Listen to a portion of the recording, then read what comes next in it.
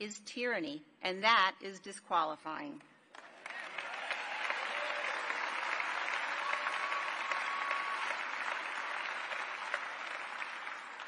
History teaches us again and again that democracies can fall.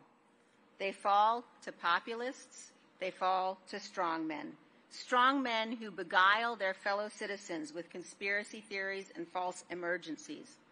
As my friend, the late Charles Krauthammer, taught us, the lesson of our history is that the task of merely maintaining strong and sturdy the structures of our constitutional order is unending.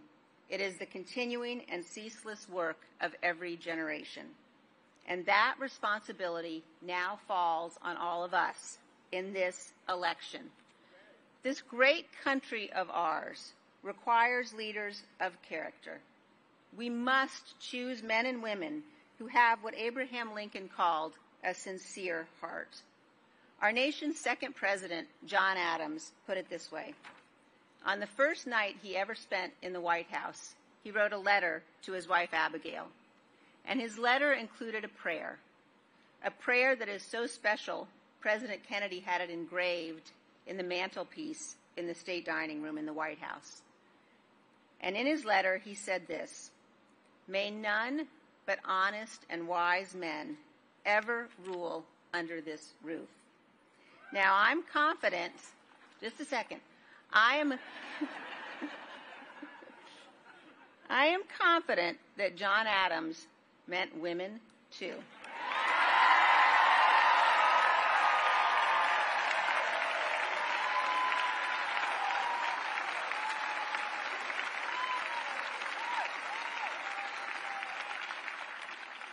In this election, a broad coalition has come together to support Vice President Kamala Harris.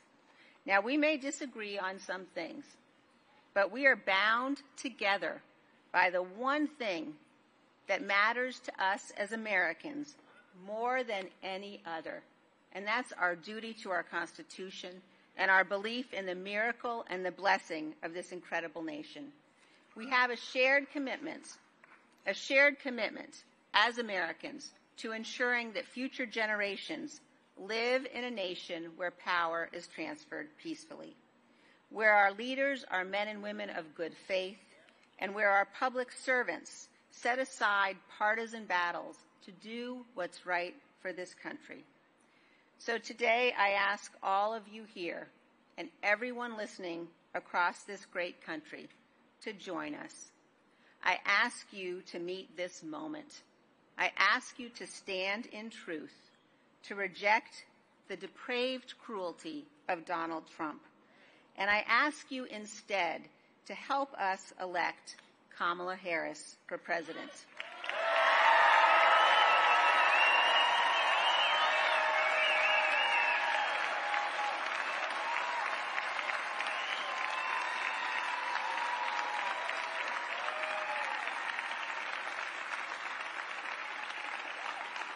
I know, I know that President, that a President Harris that President Harris will be able to unite this nation.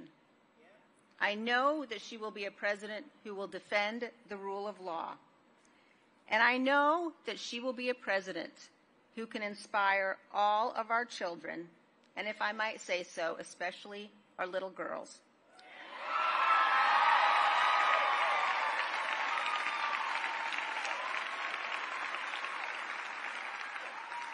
To do great things.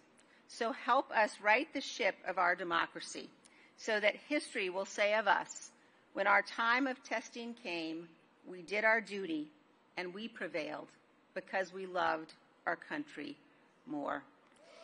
And now,